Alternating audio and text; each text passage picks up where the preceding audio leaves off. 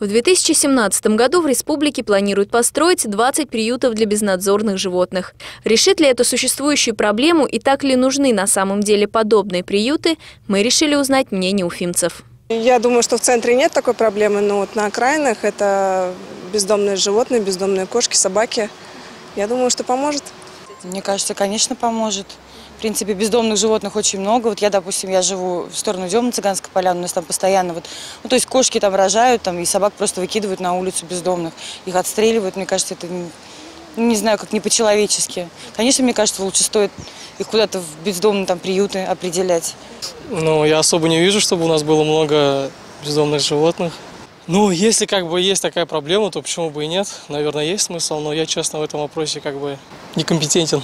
Не знаю, может и поможет как-нибудь. Собачек меньше будет на улице гулять. Ну, Я думаю, поможет. Может, собаки все, которые на, на улице бегают, хоть будут под приютом, под защитой или будут под опекой.